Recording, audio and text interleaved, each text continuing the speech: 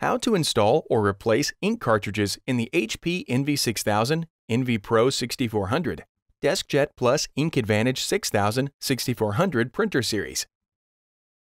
Install or replace ink cartridges when setting up your printer or when prompted by your printer software. When setting up your printer for the first time, a blinking light appears on the corner of the printer indicating where to lift the ink cartridge access door. Lift the access door if replacing a cartridge, the printer indicates which cartridge to replace with an amber light. Remove the setup or replacement cartridges from their package and on each cartridge, pull the orange tab to remove the protective tape. For the cartridge that needs to be installed or replaced, lift the corresponding lid in the printer. Insert the cartridge and then close the lid. If necessary, repeat this process for the other cartridge and then close the access door.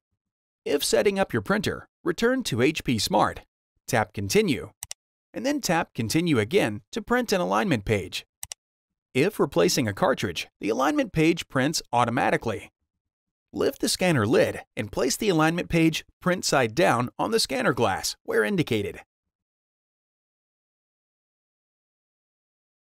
Touch the blinking copy button on the printer to complete the alignment process.